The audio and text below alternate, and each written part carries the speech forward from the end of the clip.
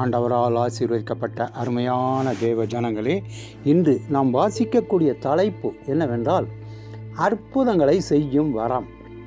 வேறொருவனுக்கு அற்புதங்களை செய்யும் வரமும் ஒன்று குருந்தியர் பனிரெண்டாவது அதிகாரம் பத்தாவது வசனம். அன்பு என்ற வார்த்தைக்கு தவறான விளக்கங்கள் கொடுக்கப்படுவது போல் அற்புதங்கள் என்ற வார்த்தைக்கும் பல தவறான விளக்கங்கள் கொடுக்கப்படுகிறது. நைஜீரியா தேசத்தில் அற்புத வாகனம் அற்புத வாடகை கார் அற்புத மின் சாதனங்கள் என்ற விளம்பரங்கள் அநேகம் உண்டாம் அற்புத விளம்பரங்கள் எல்லையற்று நீண்டு கொண்டே போகுமாம். அமெரிக்க தேசத்தில் அற்புத சாம்பு அற்புத தைலம் என்று விளம்பரங்களுக்கு அளவே இல்லை. சந்திரமண்டலத்தில் நீல ஆம்ஸ்ட்ராங் முதலாவது கால் வைத்து நடந்ததை அற்புதம் என்கின்றனர். கார்பந்தயத்தில் ஒருவர் முதலாவது வந்து ஜெயித்து விட்டால் அதை அற்புதம் என்கின்றனர். நடுவானத்தில் ஆகாய விமானம் தீப்பிடிக்கும் போது அதில் ஒருவர் உயிர் தப்பி விட்டால் அதை அற்புதம் என்று அநேகர் சொல்லுகின்றனர். இவையெல்லாம் அற்புதத்திற்கு தவறான விளக்கங்களே. அற்புதங்கள் செய்யும் வரம் என்றால் என்ன?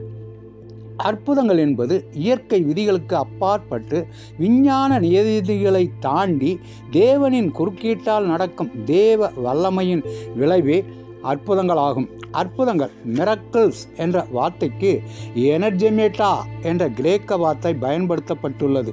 இதற்கு எக்ஸ்ப்ளோசன் ஆஃப் தி அல்மைட்டினஸ் என்ற அர்த்தமாகும். அதாவது சர்வவல்ல தேவனின் வல்லமையால் நடக்கும் திடீர் செயலே அற்புதமாகும்.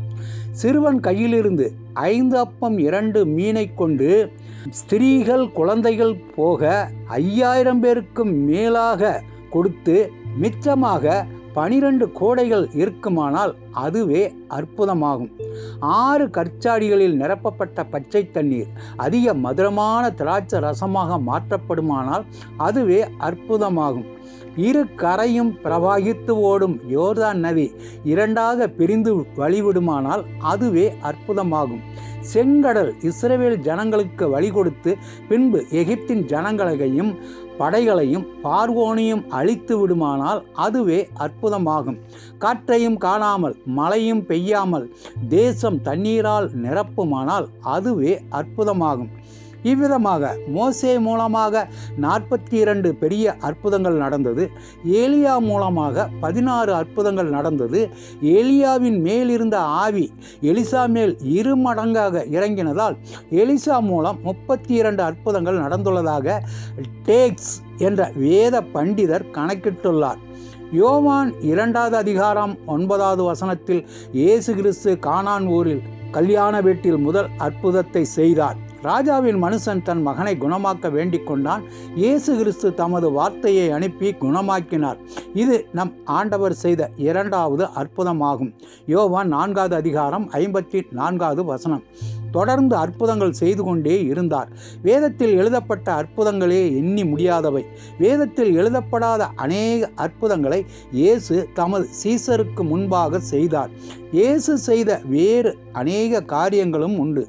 அவைகளை ஒவ்வொன்றாக எழுதினால் எழுதப்படும் புஸ்தகங்கள் உலகம் கொள்ளாதென்று யோவான் எழுதுகிறார். யோவான் இருபதாவது அதிகாரம் முப்பதாவது வசனம் இருபத்தி ஒன்றாவது அதிகாரம் இருபத்தி ஐந்தாவது வசனம். இன்று பரிசுத்த ஆவியின் வரம் பெற்றவர்கள் மூலமாக நமது ஆண்டவர் அநேக அற்புதங்களை செய்து கொண்டிருக்கின்றார். ஆண்டவர் தாமே நம் அனைவரையும் ஆசீர்வைப்பாராக. ஆமேன்.